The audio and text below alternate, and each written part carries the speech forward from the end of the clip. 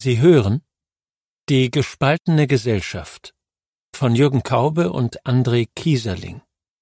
Gelesen von Frank Arnold. Ein Hörbuch des Argon Verlags.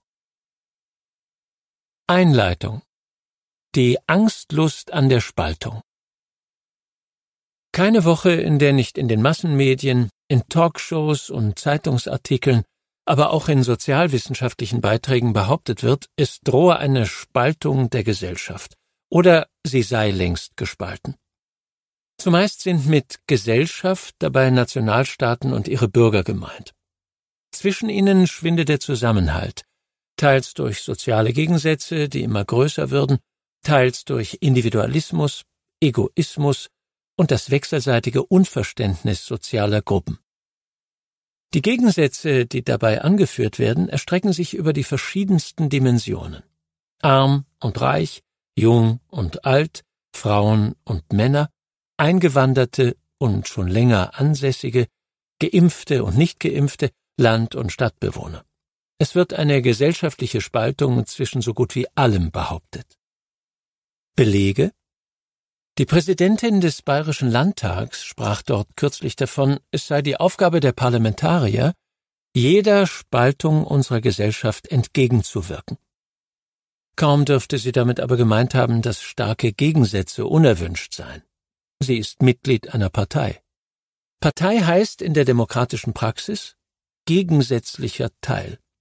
Was also meint sie jenseits der politischen Aufgabe, Bürgerkriege zu verhindern deren Gefahr gegenwärtig nicht im Zentrum der politischen Aufmerksamkeit steht.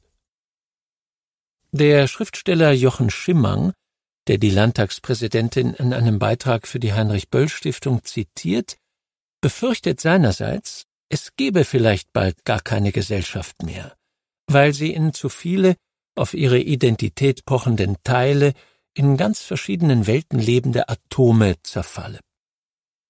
Zeitdiagnosen, wir lebten in einer Gesellschaft der Singularitäten, wollen einen Verlust des Allgemeinen erkennen. Das gemeinsam Geteilte nehme ab. Aber wie verschieden können die Welten sein, wenn nach wie vor zusammen erzogen, gearbeitet, geliebt und gestritten, geredet und kollektiv entschieden werden muss? Ist beispielsweise die Anhänglichkeit an Moden des Konsums oder der identitätspolitischen Selbstbeschreibung ein Beleg für mehr Individualismus oder als Mode gerade ein Kollektivphänomen? Womöglich lässt sich der Satz, die Gesellschaft bestehe aus Individuen, Atomen, Singularitäten, leichter hinschreiben, als ein vollständig individuelles Leben geführt werden kann. Ein Nobelpreisträger der Wirtschaftswissenschaften, Joseph Stiglitz, schließt aus dem immensen Reichtum, den ein Prozent der amerikanischen Bevölkerung genießt, bei abnehmenden Aufstiegschancen für alle anderen, ein Klassenkonflikt mit den restlichen 99 Prozent liege in der Luft. Die ökonomische Ungleichheit zehre den sozialen Zusammenhalt auf. Tatsächlich ist der Anteil des Einkommens das im obersten Prozent der amerikanischen Haushalte erzielt wird, in den vergangenen 40 Jahren von sieben auf 16 Prozent gestiegen. Der Einkommensanteil der unteren 80 Prozent um sieben Prozent gesunken.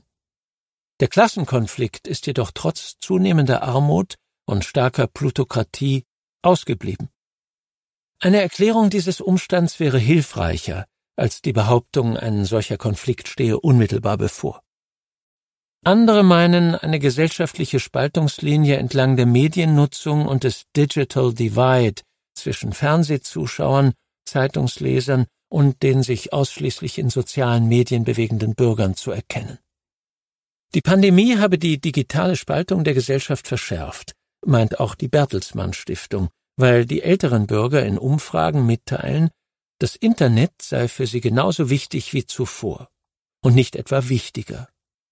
Dass nur ein Viertel der Personen, die älter als 60 sind, am Digitalisierungsschub teilgenommen haben wollen, ist für die Stiftung offenbar ein besorgniserregender Befund.